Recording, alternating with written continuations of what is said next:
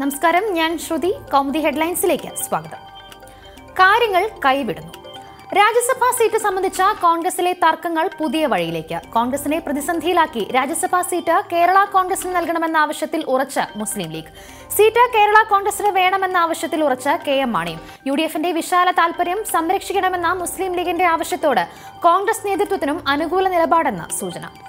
High command നിലപാട് നിർണായകമാകുന്ന സാഹചര്യത്തിൽ seat മാണിയുടെ പാർട്ടിക്ക് നൽകരുതെന്ന ആവശ്യമായി വി എം സുധീരനും.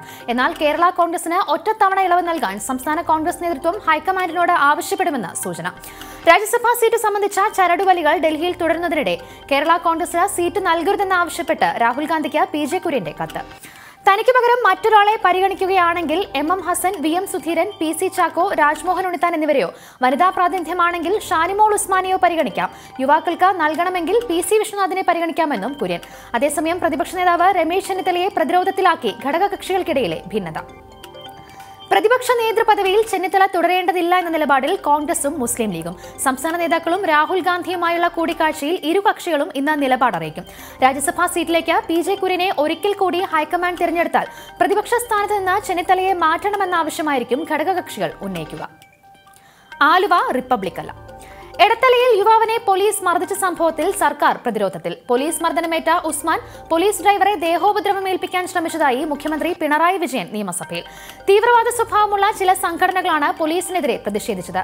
ആലുവ ആരുടെയും സ്വകാര്യ റിപ്പബ്ലിക് അല്ലെന്നും പോലീസിന്റെ നടപടി ശരിയായില്ലെന്നും പിണറായി സഭയിൽ വ്യക്തമാക്കി. പോലീസുകാർ സാധാരണക്കാരുടെ നിലവാരത്തിലേക്ക് താഴ്ന്നു. പരാതിയിൽ പോലീസുകാർക്കെതിരെ നടപടിയെടുത്തു. പ്രതിഷേധവുമായി വന്നവരെല്ലാം കളമശ്ശേരി ബസ് കത്തിക്കൽ കേസിലെ പ്രതികൾ. തീവ്രവാദികളെ ആ നിലയ്ക്ക് തന്നെ കാണണം. ഇതിനെ പ്രതിപക്ഷം ന്യായീകരിക്കുന്നത് ശരിയാണോ എന്നും പിണറായിയുടെ ചോദ്യം. മുഖ്യമന്ത്രിയുടെ മറുപടിയിൽ പ്രകോപിതരായ പ്രതിപക്ഷം സ്പീക്കറുടെ ഡയസിന് സമീപമെത്തി പ്രതിഷേധിച്ചു. മുഖ്യമന്ത്രി ആലുവക്കാരെ മുഴുവൻ തീവ്രവാദികളെന്ന് വിളിച്ച് അപമാനിച്ചതായും പ്രതിപക്ഷം ആരോപിച്ചു. പ്രതിപക്ഷം പ്രതിഷേധം നിർത്താത്തതിനെ തുടർന്ന് നിയമസഭ പിരിയുന്നതായി സ്പീക്കർ അറിയിച്ചു. അതേസമയം വരാപ്പുഴ കസ്റ്റഡി മരണക്കേസിൽ അടിയന്തര പ്രമേയത്തിന് അനുമതി നിഷേധിച്ചതിൽ സ്പീക്കർ പി ശ്രീരാമകൃഷ്ണൻ നിലപാട് വ്യക്തമാക്കി. ഭരണപക്ഷമോ പ്രതിപക്ഷമോ സ്പീക്കറുടെ തീരുമാനത്തെ സ്വാധീനിക്കുന്നില്ലെന്ന് ശ്രീരാമകൃഷ്ണൻ പറഞ്ഞു. എടപ്പാളിൽ രഹസ്യമൊഴി. എടപ്പാളിൽ പത്ത് വയസ്സുകാരി പീഡനത്തിനിരയായ സംഭവത്തിൽ ഇന്ന് രഹസ്യമൊഴി രേഖപ്പെടുത്തും നൂറ്റി അറുപത്തിനാല് വകുപ്പ് പ്രകാരം ചൈൽഡ് ലൈൻ പ്രവർത്തകർ തിയേറ്റർ ജീവനക്കാർ എന്നിവരോട് രഹസ്യമൊഴി നൽകാൻ കോടതിയുടെ നിർദ്ദേശം. കേസിൽ തിയേറ്റർ ഉടമ സതീശൻ മുഖ്യ സാക്ഷിയാകും നടപടി ഡയറക്ടർ ജനറൽ ഓഫ് പ്രോസിക്യൂഷന്റെ നിയമോപദേശ പ്രകാരം നേരത്തെ തിയേറ്റർ ഉടമയെ അറസ്റ്റ് ചെയ്തതിന് പോലീസിന് രൂക്ഷ വിമർശനങ്ങളാണ് നേരിടേണ്ടി വന്നത്. സതീഷിനെതിരായ കേസ് പിൻവലിക്കാൻ മലപ്പുറം എസ് പിക്ക് നിർദ്ദേശം നൽകി ആഭ്യന്തര അഡീഷണൽ ചീഫ് സെക്രട്ടറി.